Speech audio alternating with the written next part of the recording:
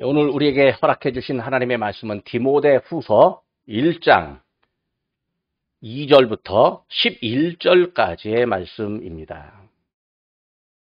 제가 받들어 읽겠습니다. 사랑하는 아들 디모데에게 편지하노니 하나님 아버지와 그리스도 예수 우리 주께로부터 은혜와 극률과 평강이 내게 있을지어다.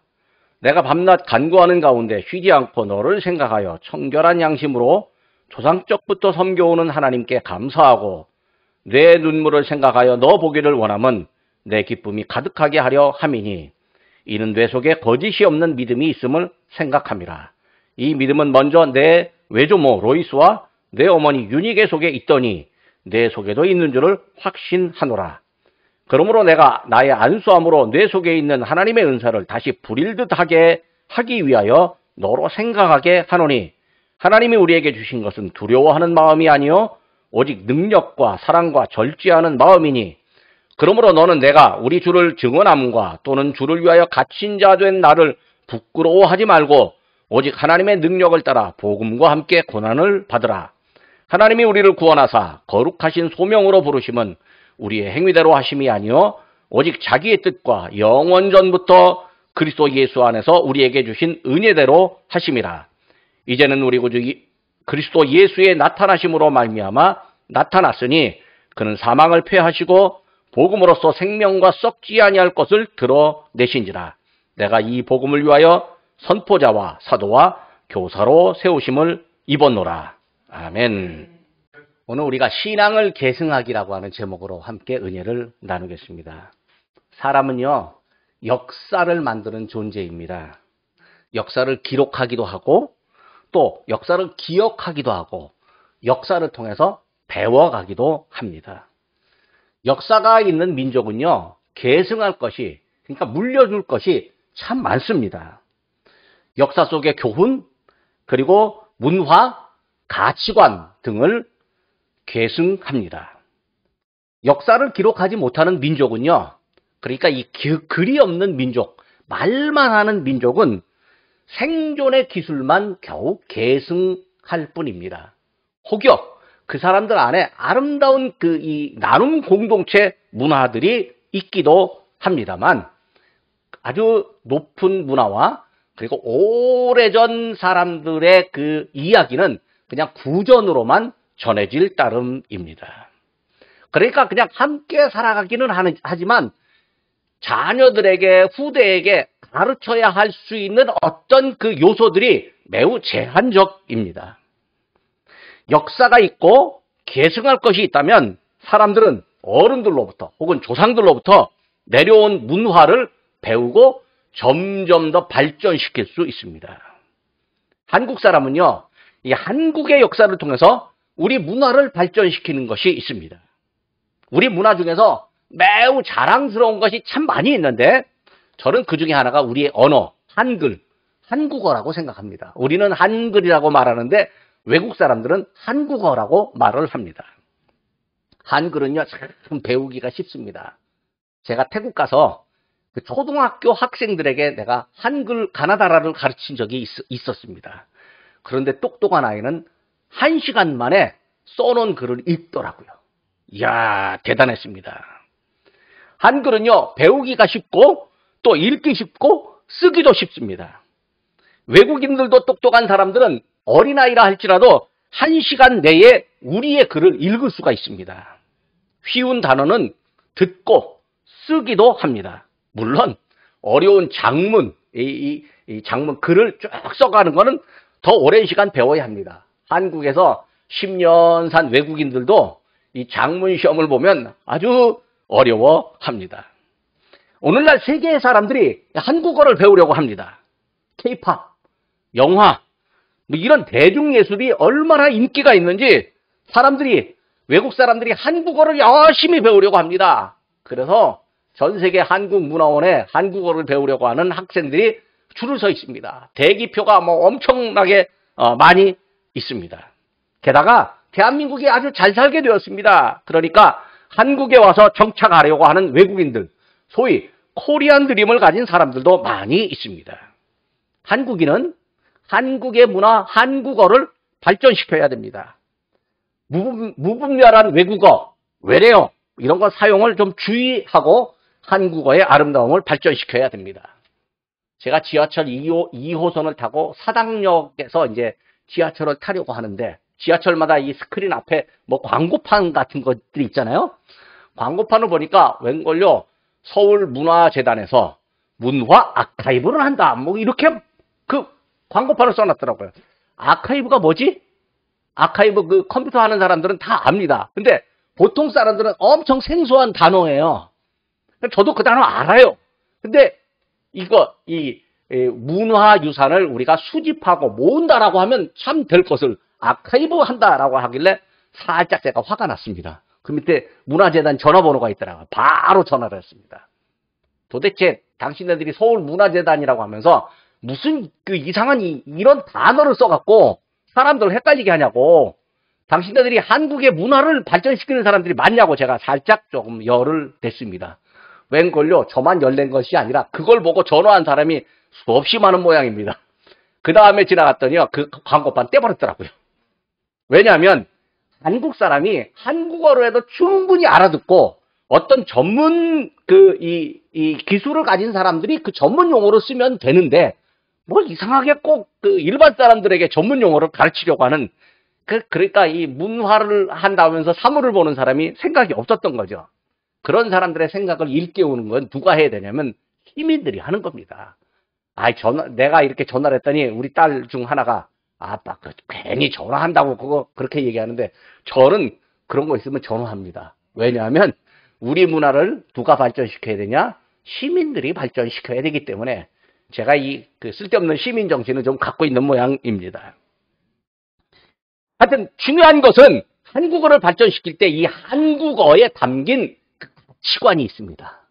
세종대왕이 훈민정음을 발표할 때 훈민정음 서문에 뭐라고 썼냐면 어여삐 여겨 그렇게 말했습니다. 이 어여삐 여긴다라고 하는 말이 뭐냐면 백성들을 향한 애틋한 사랑이 있다 그거예요. 임금이 이 일반 사람들이 서, 글을 제대로 쓰지 못하고 읽지 못하니까 그 사람들을 향한 애틋한 마음이 있었다 그거예요. 이걸 우리는 애민 정신이라고 그렇게 말합니다. 사람을 사랑하는 정신이 있는 거죠. 그러니까 우리가 한국어를 쓴다. 우리는 그냥 쓰는 거지만 이 한국어 안에 뭐가 담겨 있냐면 사람을 사랑하는 정신이 담겨 있다는 거예요. 그러니까 한국 사람은요, 사람 사랑하는 게 있어요. 국가가 어렵잖아요. 금반지 빼갖고 기부를 해요. 어, 옛날 IMF 때요, 사람들이 결혼 반지, 금반지 빼갖고 국가에다가 기부를 해요. 이게, 그리고 어디 뭐 홍수가 나고, 또 저기 어디, 어디 뭐 그, 어, 뭐 산불이 나고 그러잖아요? 그러면요, 그냥 힘들고, 저기 나도 힘든데, 힘든 근데 봉투 갖다 내요.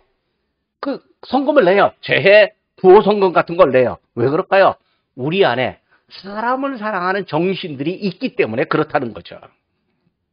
거기다가 이 한글은요, 나름대로의 이, 이 학문적 기반을 가졌습니다. 우리가 말할 때 자음이라고 말하는데 소리값은 이, 이 음성을 내는 기관을 본따서 만들었으니까 과학적이고 또 모음은 소리의 모양을 만들어내는 모음은요 하늘, 땅, 사람 이 철학적 기반을 갖고 만들었습니다. 그러니까 우리가 한글을 바르게 사용한다. 이게 뭐냐면 우리의 과학과 철학 그리고 또 우리의 사람 사랑 정신을 자꾸 아름답게 사용하는 거예요. 그러니까 외국어 외래어 맨날 열심히 쓰잖아요. 이거 우리의 정신을 살짝 잊어버리는 일이기도 합니다. 자, 그러면 한국 사람은 한국의 문화를 계승한다면 믿음의 사람은 무엇을 계승해야 될까요? 신앙인은 어떤 가치를 계승해 나가야 할까요? 그것은 우리가 가진 믿음입니다. 예수님을 구주로 믿는 믿음을 우리가 사람들에게 알려주고 우리의 후대에 계속 내려보내 주어야 합니다. 하나님은 우리에게 예수님의 구원에 감사하고 믿음의 삶과 모습을 계승하고 발전시켜 나가기를 지금도 원하고 계십니다.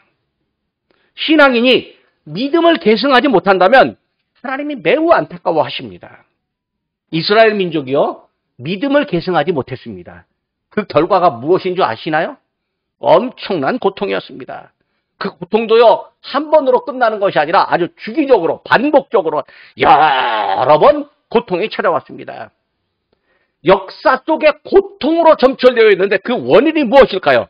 가장 큰 원인은 믿음을 계승하지 못했기 때문입니다. 이스라엘 사람들이 애굽에서 나왔습니다. 광야 생활을 할 때 하나님께서 모세를 통해서 율법을 주시고 말씀하셨습니다.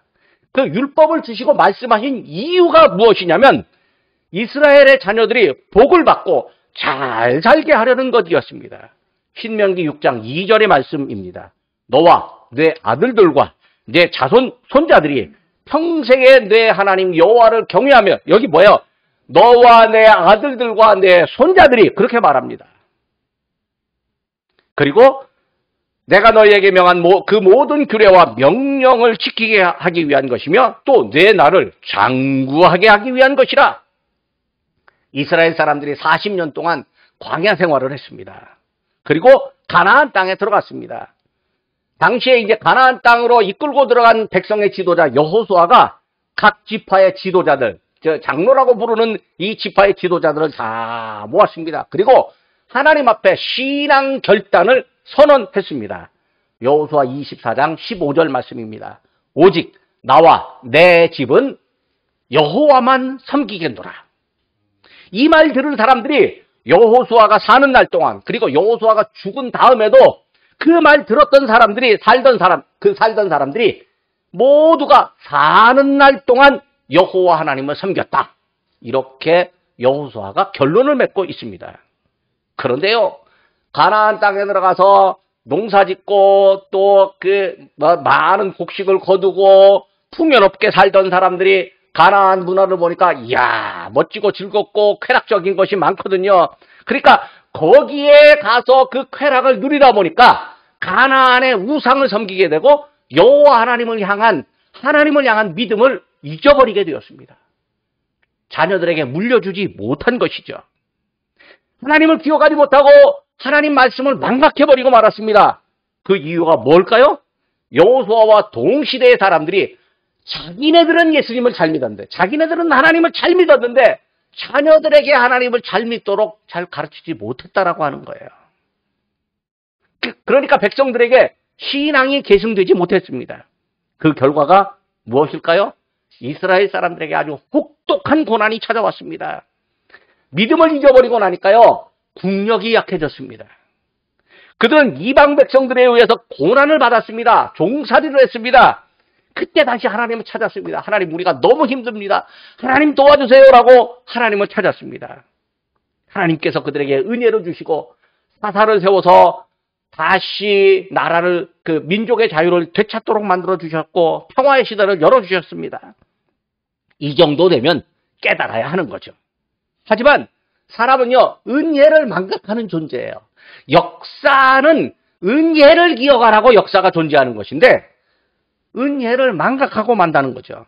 이스라엘은 믿음을 버리고 고난도 받고 그때 회개하고 하나님의 은혜를 입는 이 패턴이 자주 반복되고 있습니다. 우리가 대한민국의 발전과 영광을 위해서 기도할 때가 참 많이 있습니다. 나라를 위해서 기도하고 우리의 선조들이 가졌던 아름다운 가치관을 계승해야 되는 건 아주 당연한 일입니다. 그런데 이 대한민국을 하나님께서 지키고자 원하신다면 우리가 먼저 계승해야 될 가치가 뭐냐면 하나님 나라 가치입니다. 우리 예수님께서 이 세상에 오셔서 하나님 나라를 전파하셨는데 하나님 나라 가치가 대한민국에 있으면 대한민국이 잘 사라지게 되고 대한민국이 외국을 향해서 멋진 나라이고 그리고 아름답게 보이고 또 외국도 도와줄 수 있는 그런 나라가 되는 거죠. 하나님 나라 가치가 계승되면요. 하나님 나라 가치를 가진 믿음의 사람들을 보시고 우리에게 발전하는 대한민국이라고 하는 복을 더 보너스로 주시는 거예요. 70년 전만 해도요. 이 땅 폐허였습니다. 세계에서 가장 가난한 나라가 대한민국이었습니다. 보릿고개도 넘길 수 없었던 우리 어른들이었는데 저는 보릿고개 잘 몰랐습니다. 제가 60이 넘었어도 나이가 60이 넘었어도 보릿고개 잘 못 당해봤습니다. 그런데 보릿고개 비슷한 지독한 배고픔은 저도 경험해 봤습니다. 그런데 이렇게 잘 먹고 잘 살고 뭐 가끔 때로는 어, 치킨도 먹고 피자도 먹고 파스타도 먹고 뭐 어, 고기도 먹고 이렇게 하는 이유 하나님의 은혜가 대한민국에 넘치기 때문입니다. 나라를 위해서 밤새도록 기도했던 어른들이 계시고요.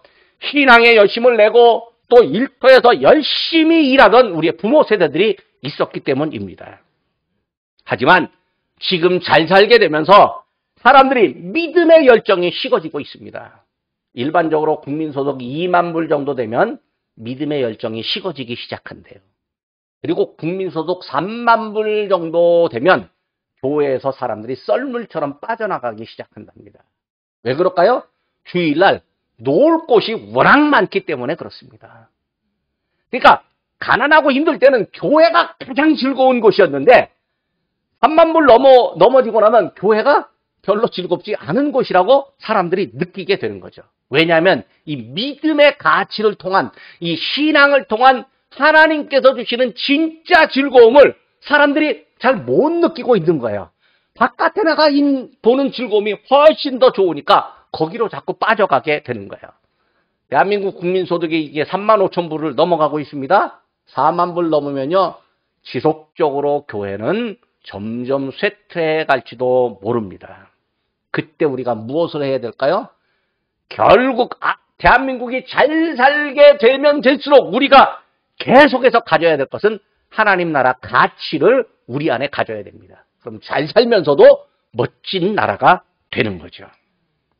만약에 우리가 예수님을 기억하지 못한다면 우리의 믿음이 차갑게 식어지고 나면 하나님께서 이 땅의 번영을 멈출지도 모릅니다.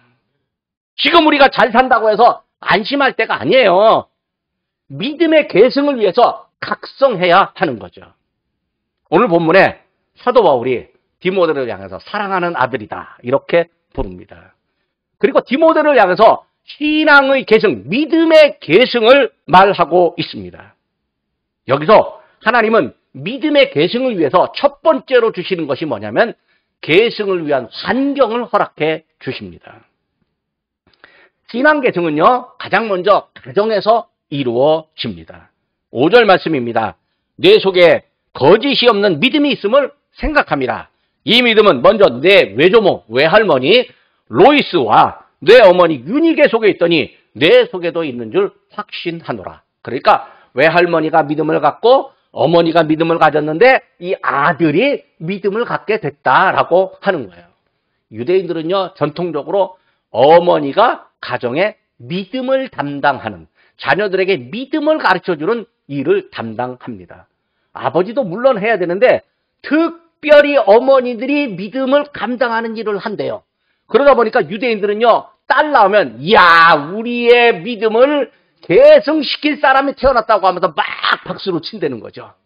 대한민국은요, 아들 나면, 야, 내 성씨를 계승하고, 내, 내 재산날 제사법을 줄 아들이 태어난다고 되게 좋아하는데, 저는 딸만 있습니다만, 아, 저는 딸만 있다고 해서 전혀 부끄럽지 않습니다.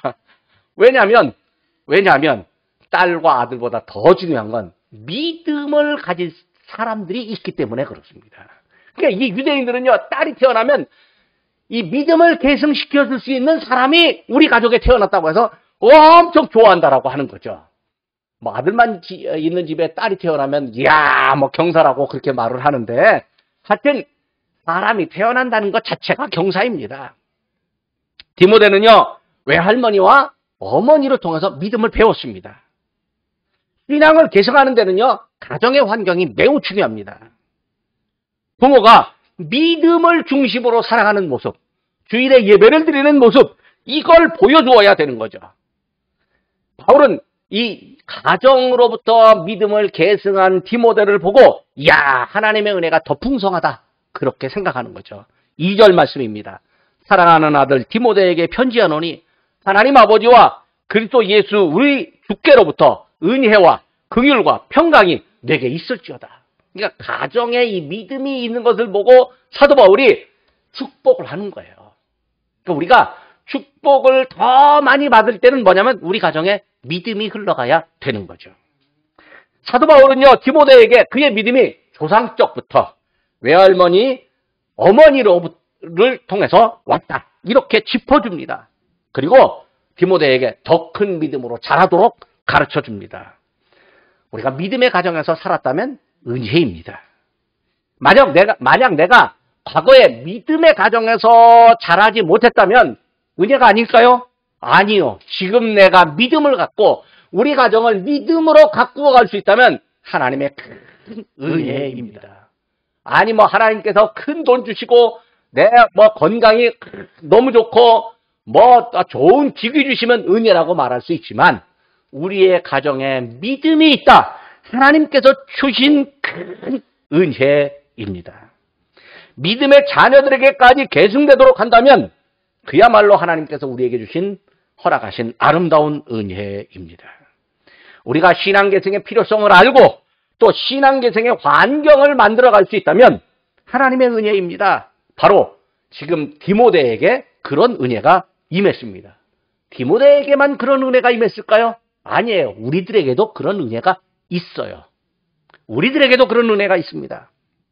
신앙의 개성은요, 자연스러운 환경이 중요합니다. 디모데에게는 신앙을 가질 만한 아주 자연스러운 환경이 있었어요. 그게 가정 환경이에요. 아이들이 태어나잖아요.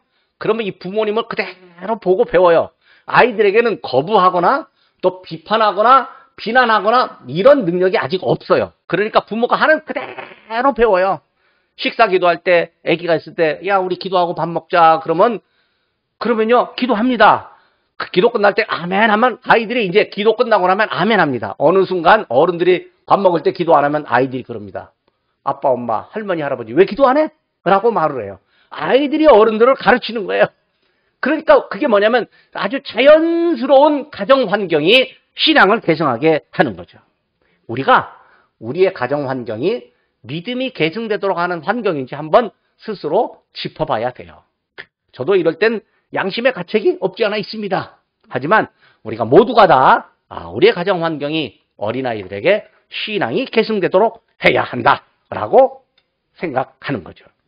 자연스러운 환경에서는요, 자녀들에게 진실한 신앙인으로 자랄 수 있도록 하는 토양이 됩니다.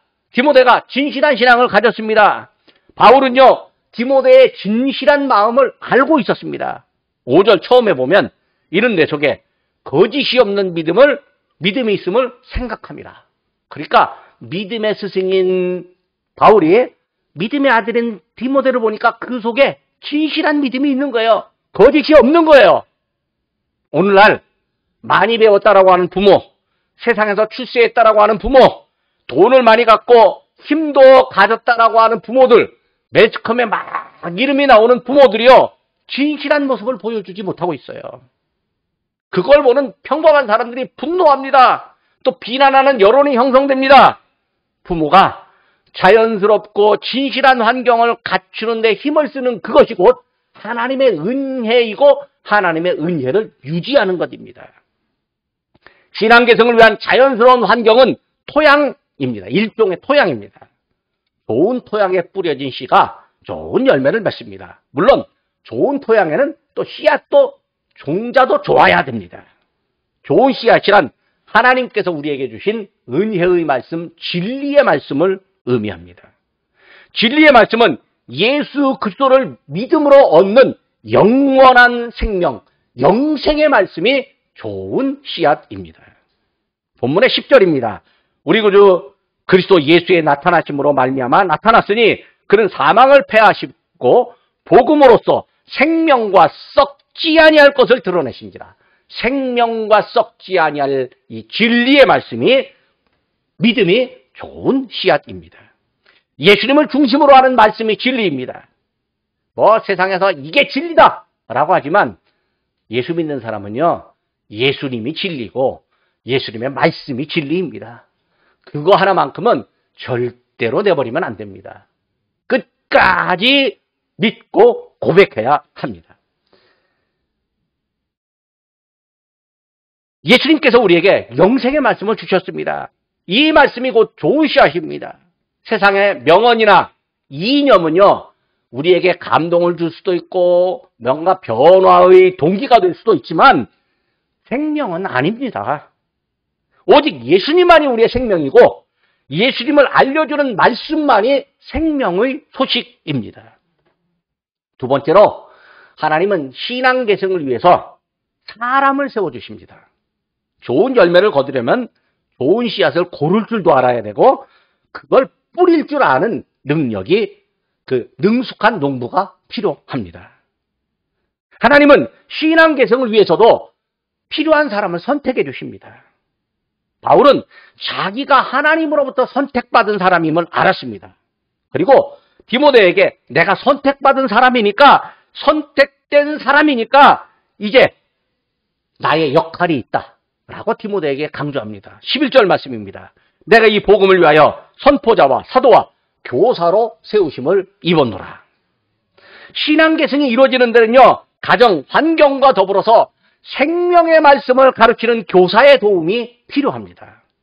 하나님께서 교사와 사도를 주시는 선포자를 주시는 은혜를 우리에게 허락해 주셨습니다. 신앙을 개성하는 데 있어서 이 신앙을 더 배울 새로운 환경이 필요합니다.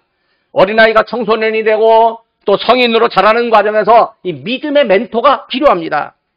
신앙의 모범이 되고 깊고 높은 진리를 가르쳐 줄 선생님이 필요합니다. 하나님은 우리의 신앙 성장과 개성을 위해서 신앙의 선생님을 세웁니다.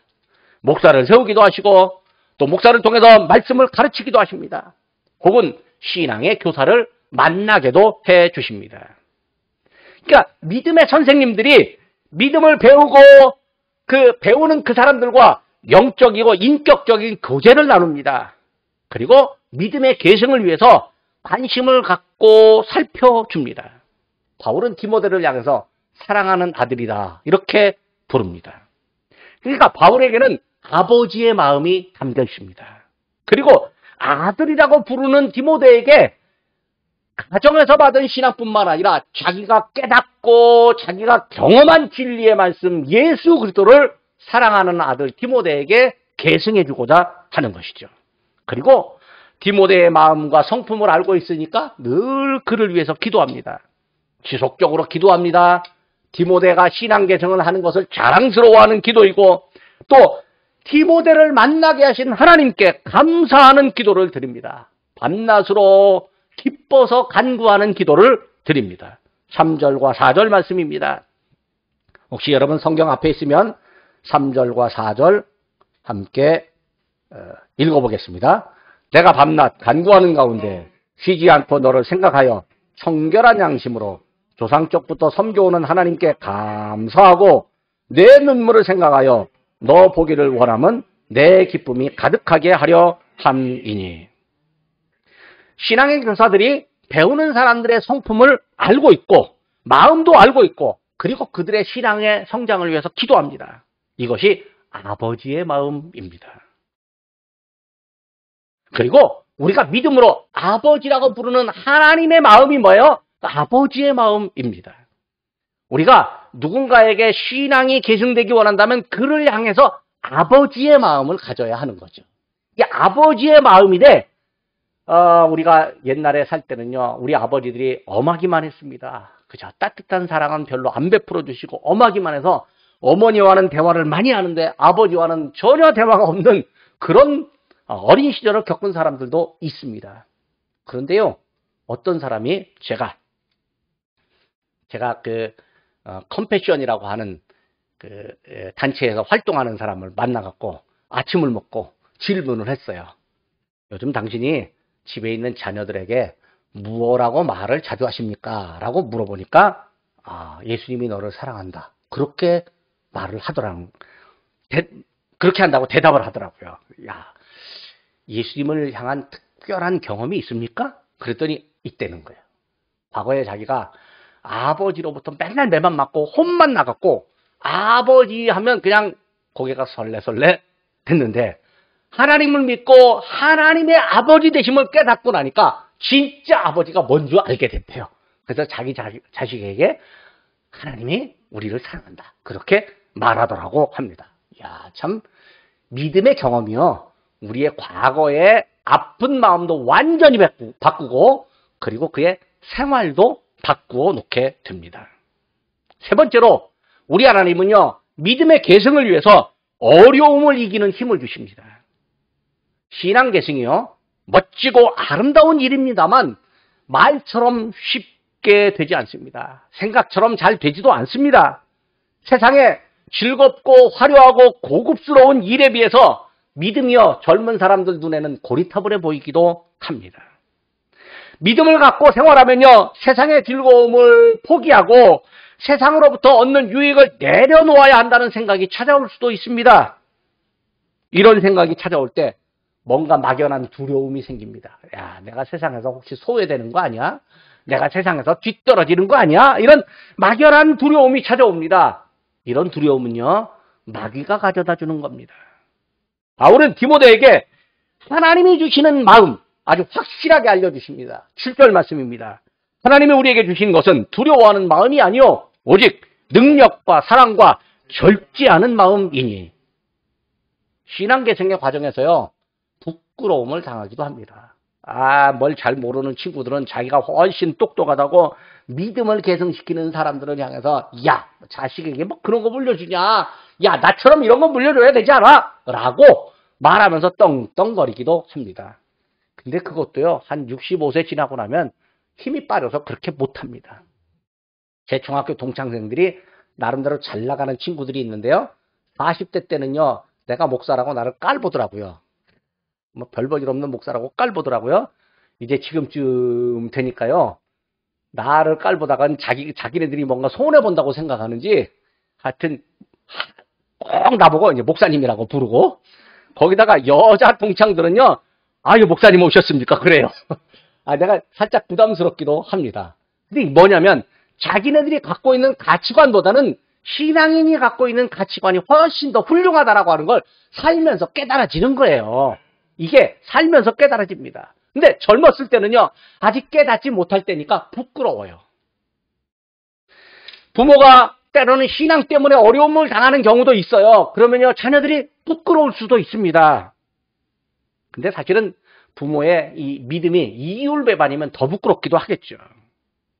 내게 믿음을 가르쳐 주는 분이요, 세상에서는 뛰어나지 않을 수도 있어요. 신앙의 선생님이 부끄러울 수도 있습니다. 바울이 디모데에게 말합니다. 8절 앞부분에 그렇습니다. 너는 내가 우리 주를 증언함과 또 주를 위하여 갇힌 자 된 나를 부끄러워하지 말고. 바울은 먼저 복음의 사람에게 가져다 주는 아픔 그리고 보람 이거 다 경험했습니다. 그리고 자기의 경험을 젊은 디모데에게 알려줍니다. 디모데가 앞으로 만날 부끄러움과 고난을 대비하게 해주는 것이죠. 바울은 복음을 전하다가 고난당한 적이 많았습니다. 체포된 적 있고 매를 맞은 적도 있고 돌을 맞을 뻔한 적도 있었습니다. 아, 뭐 엄청난 비난과 인격적인 모독을 당한 적도 있었습니다. 지금 이 디모데에게 편지를 쓰는 이 시간에는 바울은 가택연금 중에 있습니다. 디모데가 생각하기에 아 우리 선생님이 뭐 잘못한 것도 없는데 억울하게 누명을 쓰고 가택연금을 당했다면 아니 바른 일을 하는 우리 선생님이 왜 저렇게 어려움을 당해야 돼? 라고 생각하면서 부끄러워할 수 있습니다. 그래서 내가 그 선생님의 제자입니다. 라고 말하기가 어려울 수도 있습니다. 그런데요, 바울은 신앙의 계승자가 고난을 당할 수 있다라고 말합니다. 그래서 복음을 위한 고난이 당연하다. 이렇게 말하는 거예요. 여러분, 복음을 위한 고난은요, 당연한 거예요. 8절 하반절입니다. 오직 하나님의 능력에 따라 복음과 함께 고난을 받아라.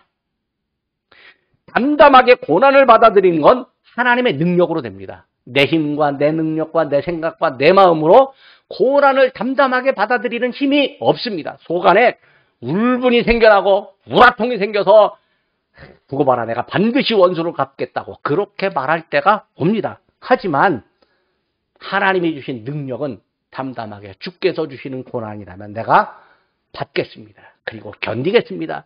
주께서 승리하게 하실 줄로 믿습니다라고 그렇게 고백을 하게 되는 것이죠. 그러니까 하나님의 능력이 이기게 하는 거예요. 내가 이기는 것 같지만 나와 함께 하시는 하나님이 이기고 내게 능력 주시는 하나님이 이기는 거죠. 오늘날 대한민국의 어떤 부모들은요, 자녀들에게 결과만 물려주려고 합니다. 아, 정치인들 이쪽이나 저쪽이나 다 똑같아요. 결과를 얻기까지의 진실함과 정직함, 공정함을 망각하고 오직 좋은 대학, 좋은 직장, 많은 돈을 물려주려고 합니다. 이게 아버지의 마음으로서는 당연할지 모릅니다. 그러나 그 결과는요, 아버지도 자녀도 다 같이 수치를 당합니다. 아버지들이 자녀들에게 더 좋은 걸 물려줘야 되는데 결과를 얻기까지의 과정이 정직해야 된다. 이것도 물려주어야 됩니다.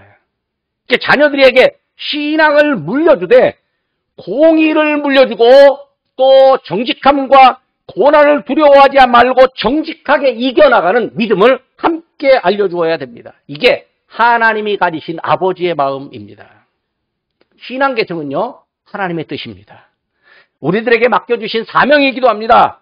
내 집 자녀들뿐만 아니라 남의 집 자녀들, 다음 세대, 해외의 젊은이와 어린이들에게도 신앙이 계승되어야 합니다. 하나님이 이것을 위해서 우리를 불러주셨습니다. 바울은 전 세계를 다니며 진리의 말씀, 생명의 말씀을 전했습니다. 그 과정에서 디모데 같은 젊은이를 만나서 믿음을 가르쳤고 그를 그를 믿음의 사람으로 믿음의 일꾼으로 세웠습니다. 하나님이 구원받기 이전에 바울의 행위를 보고 그를 불러주신 게 아니었습니다. 구원받기 이전에 바울은요 어떤 사람이었냐면 비방자, 박해자, 폭행자였습니다. 도대체 구원받을 수 없을 사람이었습니다. 이런 바울을 우리 예수님이 불렀습니다. 그리고 복음의 일꾼, 신앙 계승의 일꾼으로 우리를 불러주셨습니다. 우리도요, 사실은 우리의 과거에 우리의 가졌던 이, 이 나쁜 마음, 죄를 보면요, 하나님으로부터 부름을 받을 만한 자격이 없다라고 생각할지 모릅니다. 그런데 하나님께서 우리를 불러주셨어요. 하나님께서 날 불러주셨어요. 바울의 회심을 생각하면, 우리의 믿음을 생각하면, 모두가 다 하나님의 은혜입니다. 하나님의 원대한 뜻이 우리에게도 적용되기 때문입니다. 구절 말씀입니다. 하나님께서 우리를 구원하사 거룩하신 소명으로 부르심은 우리의 행위대로 하심이 아니고 오직 자기의 뜻과 영원 전부터 그리스도 예수 안에서 우리에게 주신 은혜대로 하심이라. 그러니까 우리에게 은혜가 있다 그거예요. 우리에게 은혜를 주신다는 거예요. 톨스토이의 우화집에 이런 이야기가 있습니다. 톨스토이가 어느 날 여행을 합니다. 여행 중에 한 주막집에 머물게 되었는데 주막집에 몸이 아픈 딸아이가 있습니다. 딸아이가 톨스토이가 갖고 있는 빨간 가방 하나가 너무 이뻐 보이니까 톨스토이에게 그 가방 내게 주세요라고 말합니다. 톨스토이가 여행 중에 있으니까 얘야 내가 이 가방 여행 중에 있어서 내 짐이 있고 내 가방이 꼭 필요하단다. 내가 여행을 마치고 돌아올 때 내가 이 가방을 너에게 줄게 라고 약속을 했습니다. 여행을 마치고 다시 돌아오는 길에 주막집에 들러서 딸아이에게 가방을 주려고 하는데 아이의 어머니가 아이가 아이는 톨스토이 선생님이 떠나자마자 여, 이 여행길을 떠나자마자 죽었습니다. 라고 이야기하더라요. 그러니까 이 톨스토이가 그 아이의 무덤을 찾아가서 이렇게 새겨놓았답니다. 사랑을 미루지 마라. 그렇습니다. 믿음의 계승도요. 사랑과 함께 오는데 믿음의 계승도 미루면 안 됩니다. 이제 말씀을 맺습니다. 하나님은 신앙 계승을 위한 환경을 우리에게 허락해 주셨습니다. 가정 환경, 자연스러운 환경이 저절로 이루어진 것 같지만 하나님이 우리를 위해서 준비하신 환경입니다. 하나님은 신앙 계승에 도움을 주는 선생님들을 예비하십니다.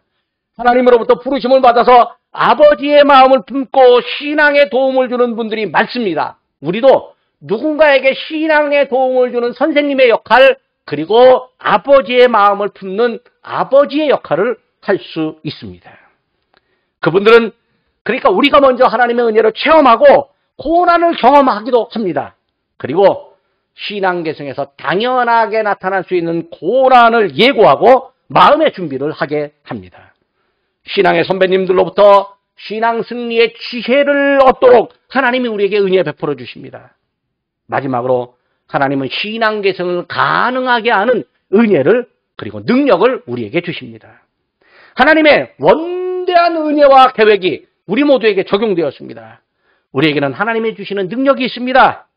이미 이루어진 은혜인데 우리가 의식하지 못할 뿐입니다.